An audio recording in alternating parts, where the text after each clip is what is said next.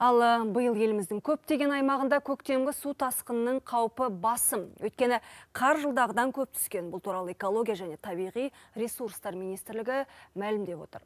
Ведомство өкілдерінің айтуынша әсіресе Қарағанды, Ақмола, Солтүстік Қазақстан, Қостанай, Ақтөбе және Абай облыстарында ылғал қоры жоғары. Әзірге тек Маңғыстау мен Қызылорда облыстарында ешқандай қатер жоқ дейді мамандар. Елдегі су қоймаларды әзірге тола қоймаған, бірақ тексеру жүргізілген 1300-ден астам гидротехникалық нысанның 471-ін жөндеу керек. Ал олардың үшеуінің тозығы жеткен. Жауаптылар бұл су қоймаларының қазір транзиттік режимде жұмыс істеп тұрғанын айтады.